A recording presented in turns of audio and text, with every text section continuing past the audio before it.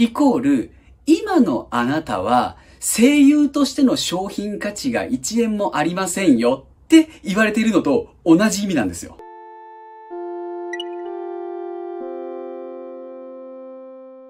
どうも、声優志望の子たちに演技の基礎を教えています。演技講師の日向翔吾です。はい、早速今日もやっていこうと思います。え、今日はですね、プロの声優を目指している子が、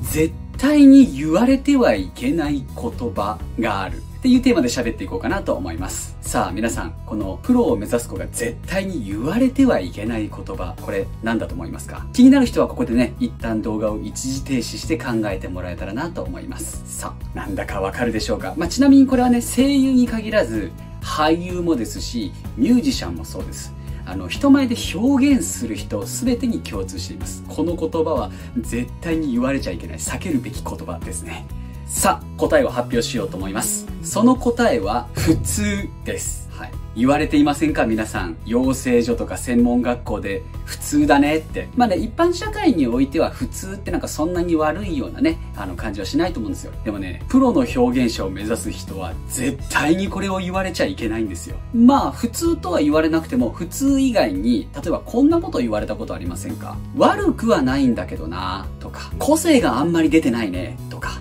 その演技は7割ぐらいの人がやっている演技だね、とか、こういう風に言われたことある人いるんじゃないでしょうか。結構いると思います。これ、言い換えるとこういう意味なんですよ。つまらないとか、どっかの誰かのモノマネとか、見る価値がないとか、あなたがやる必要がない、みたいな意味合いなんですね。つまり、普通イコール、今のあなたは声優としての商品価値が1円もありませんよって言われているのと同じ意味なんですよ。今現在声優としての価値が1円もないということは、当然、事務所的には、あなたは欲しい人材じゃありません。あなたはいりません。って言われてるようなもんなんですよ。まあそりゃそうですよね。だって普通ってことはそれどこにでもありますよねっていうことだからわざわざあなたを選ぶ必要ないですよね。まあもしその普通と呼ばれる人を所属させたところで役を獲得するためのオーディションって他事務所の人たちと戦うわけじゃないですか。その中から一つの役をかけて戦うんですよ。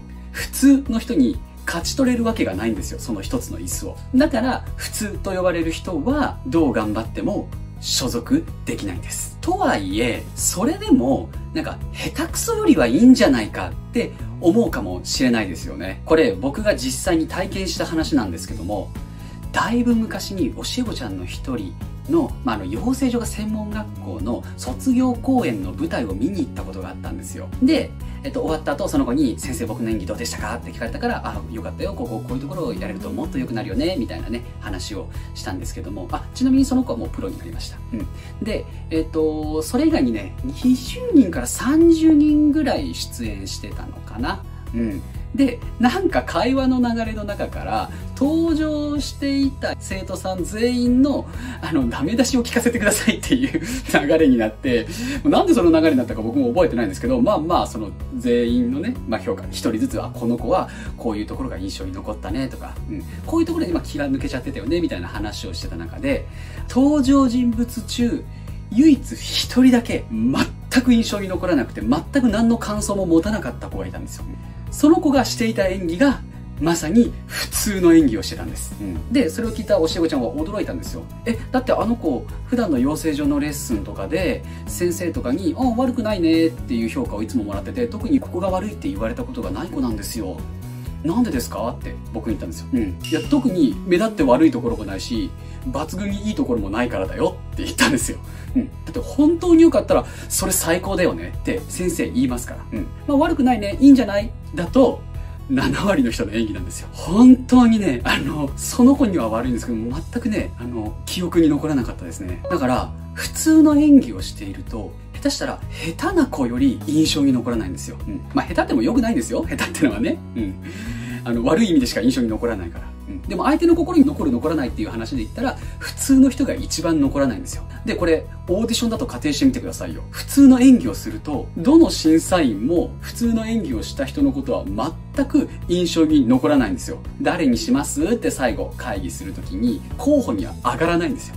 だから、普通じゃダメなんです。皆さん、普通の演技していませんか？気をつけてくださいね。でも、なんで普通の演技になってしまうんでしょうか？うん、7割の人がやっている演技というものになってしまうんでしょうか？これはね、僕3つの原因があると思ってます。まず1つ目。まあ、声優っていう業界を目指している子たちは、まあ、大抵アニメのね、あの声優をやりたいっていう子が多いと思うんですけれども、大抵の子たちがやっぱりこう、流行りのアニメとか人気のアニメを中心に見ますよね。うん。ってことは、みんな見ているもの、見本としているものが一緒なんですよ。人気作品や流行りものしか見ていないから、そこの中でどれが正しいかな、どこを模倣しようかなってやっているから、狭い枠の中での取捨選択をみんなしているから、結局7割の人が同じ演技になっちゃうんです。だから僕はよくいろんな作品見なさいって言うんですよ。うん。マニアックな作品、昔の作品、海外で評価されている作品、アニメだけではなく吹き替え見たり、海外ドラマ見たりとか、クラシック聴きなさいとか、一流の文学に触れなさいって言ったりするのはそういうことなんですよ。みんながみんな人気作品、流行りの作品ばっかり見ていると、表現の差は出てきませんよね。二つ目、自分の意見がないからです。朝のテレビの情報番組を見てみると、まあ、どのチャンネル変えても大体似たようなことをやってるじゃないですか。うん、で、このように同じような情報に繰り返し触れていると、気がつかないうちに、それが自分の中に刷り込まれていって、あたかも自分の意見のように錯覚してしまうんですね。ニュースで言っていたことをそのまま人に伝える。テレビで言っていたことをそのまま伝えるっていうことを無意識にやり出しちゃうんですよ。昨日テレビの健康番組でこれが体にいいって言ってたって。テレビで言っていたようなことをそのまま伝えるっていうのが習慣化してると、それはテレビを見た人は同じような意見を持ってしまいますよね。だから差がなくなって普通になっていってしまうんですよ。まあ、あの、プロを目指すわけではないのであれば別にそういうスタンスでいてもいいんですけれども、これが日常化していると、なんか新しい情報とか新しい芸術に触れた時に自分なりの意見を出せない人になってしまうんですね。だから何か情報や作品に触れる機会があったら必ず自分の頭で考えて自分なりの意見を出すっていうことを心がけましょう。こうすることで普通に陥ることを回避することができます。そして3つ目チャレンジしないからです。まあ大半の人が2つ目の自分の意見がないっていうところで止まってるんですけれどもごく一部の子の中には自分なりの意見は持っているんだけれども人前で発表する時にこれをやっ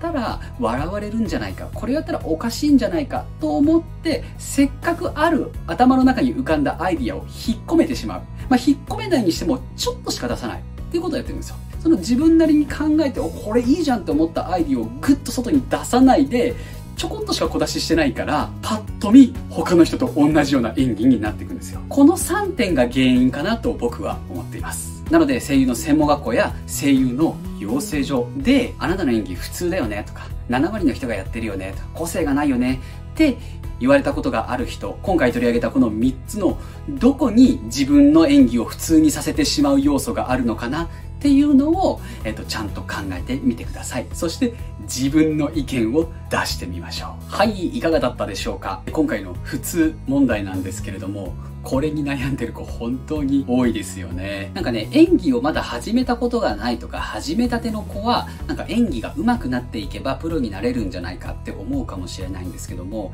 演技が上手いイコール普通じゃなくなるではないんですよね。まあ当然演技も上手くなっていかなきゃいけないんですけれども、上手くなりつつ僕の表現普通に陥りすぎてないかなっていうのを意識しましょう。これね、決してね、あの、じゃあ、突飛なことをすればいいかっていう話じゃないんですよ。気候に走ればいいかっていうわけじゃないんですよ。もっと役を深く掘り下げてって、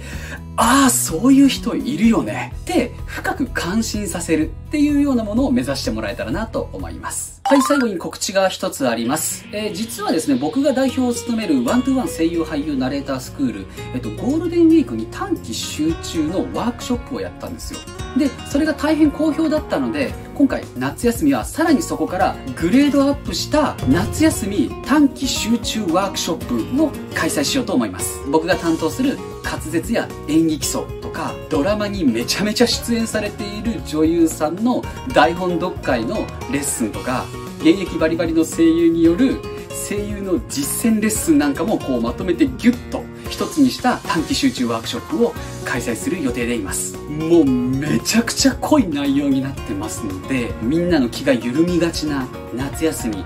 ライバルに一歩でも差をつけるなんてものじゃなくて大きく差をつけたい引き伸ばしたい全員蹴落としたいっていう高い志を持ってる人いましたら僕が代表を務めるスクールの夏休み短期集中ワークショップご応募ください、まあ、結構ね人気のワークショップなので、まあ、早めに枠が埋まっちゃうと思います。え興味のある方はお早めにえ動画詳細欄またはホームページの方もチェックしてください。以上日向の教室の日向でした。